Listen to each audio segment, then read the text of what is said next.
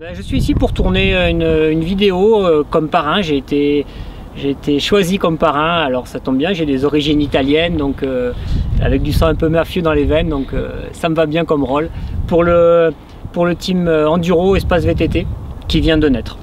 Alors le team est composé de quatre jeunes pilotes, euh, Tom, Albin, euh, Michel et Paul, qui, roulent super fort en enduro et en plus ils ont un esprit euh, vraiment cool et c'est le principal.